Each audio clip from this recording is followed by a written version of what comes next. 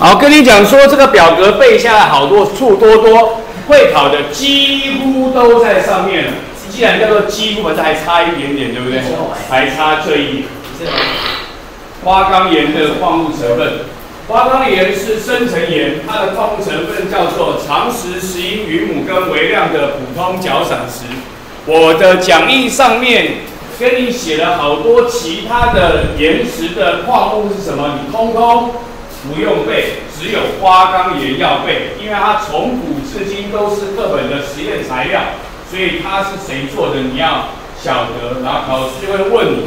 所以你要记得，花岗岩是长石、石英跟云母，还有微量的普通角闪石。那所以以后教到矿物的时候，长石、石英跟云母就特别的重要，特别的重要。OK，花岗岩。然后呢，你有看到这个上面有一个底盖有没有？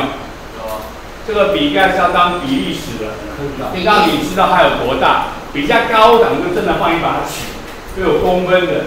那半天所以，所以第一个照片经常会有一个镜头盖，一支圆珠笔，一个十块钱，或者是有时候站着一个人或干嘛的，这都是要当做比例使用，让你知道这玩意有多大一支，多大一支。OK，比例尺。然后花岗岩通常是白色，会肉，我不管，大家看看就好了，不用查。然后呢，大陆地壳是花岗岩石，前面教过了，大陆地壳是花岗岩石，我们前面讲过了，记一下。OK，花岗岩啊，美观、硬度高、抗风化强，八八八八都是用哪里有？这附近哪里有？捷运，四川捷运站外面贴就是花岗岩。还有四川捷运站后面就有，还有还有地方有。白雅国中出校门，向左转，向右转，上一上线有一个短的矮柱子，有没有？一个 P 棍，你那个 P 那个东西，对对对，就用管柱子，那个也是花岗岩。不过自然原家的花岗岩是抛光过的。嗯，我们那个我们那个卷子是没有抛光的，就是一个粗粗的、粗粗的，它都是花岗岩。OK。刘文岩刚才讲过，你表格有背，你表格有背就知道刘文言的成分跟谁相似。刘文成分跟花岗岩相似，但刘文岩是火山岩。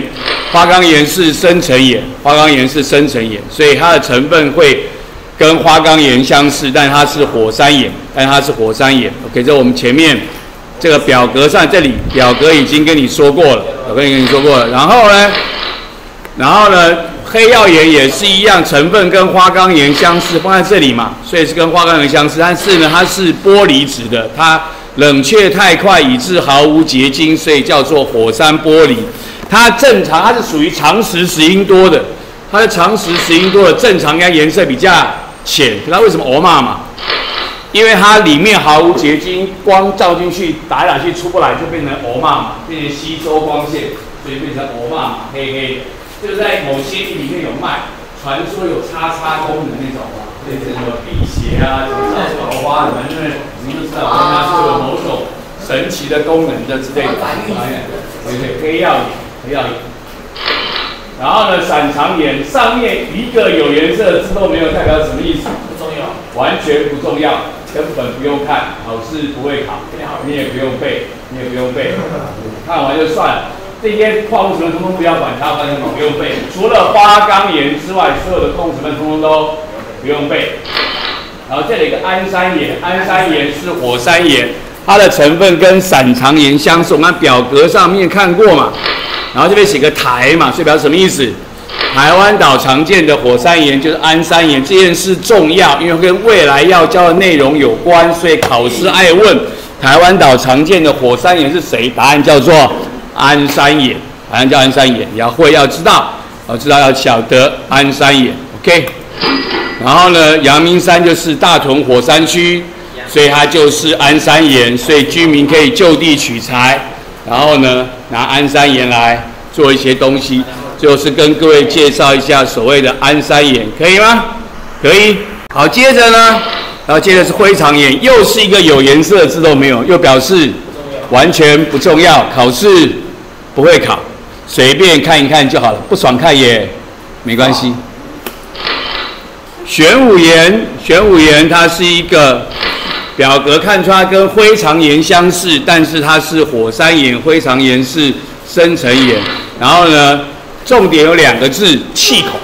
我看过一个考题，说有个九桃，巴拉巴拉巴拉巴拉巴拉布拉，问他什么石头，看到 keyword 两个字，有气孔，气孔两个字，谁？就玄武岩。他写一大堆一个石头怎样怎样怎样，气孔，OK，就玄武岩。玄武岩啊，气孔，它才有气孔啊特征。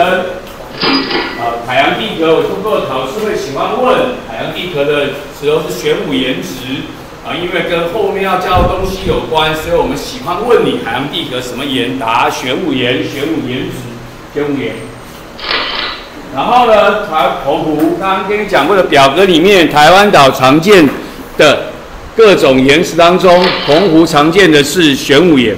因为它是海底火山爆发这件事，又跟未来要教的海底扩张学说有关，所以你要记好。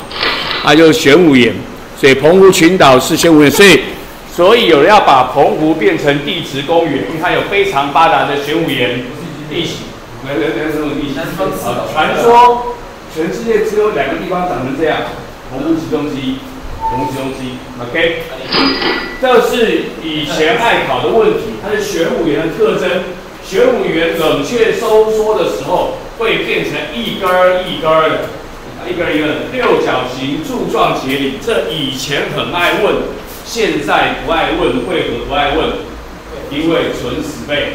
但是它其实很重要。为何很重要？因为它是玄武岩的特征。是狮子。而且之所以玄武岩地形会感到很特别、特别好看，或者特别什么，都是因为它一根儿一根儿的。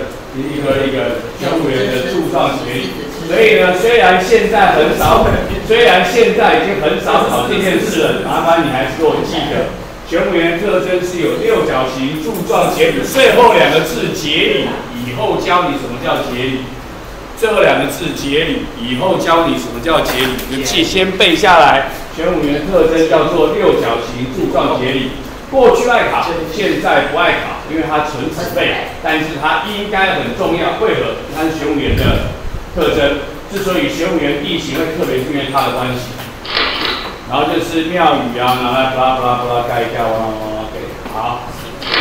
再来是橄榄岩，又是一个有颜色的字都没有，就表示又是完全不重要。但是有一件事重要，我们现在还不会上到。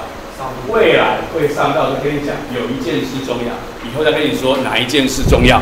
橄榄岩，然后再就是说，它是谁的主神呢？地海，大陆地海，橄榄岩组成。这有人问过，这有人问过，就把你前面让你背，把它背起来就可以了。就是有关于火成岩的部分，不让问得吧？没。